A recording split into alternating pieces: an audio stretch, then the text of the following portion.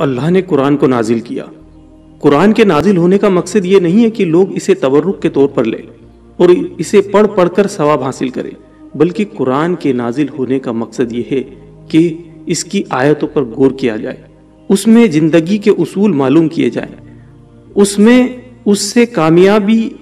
اور ناکامی کے راز معلوم کیے جائیں، اس سے امتوں کے عروج اور زوال کے قانون سیکھے جائیں۔ قرآن سے رہنمائی حاصل کر کے اپنے آپ کو اس طرح تیار کیا جائے جو آدمی کو اللہ کی رحمت اور کرم کا حقدار بنا دے۔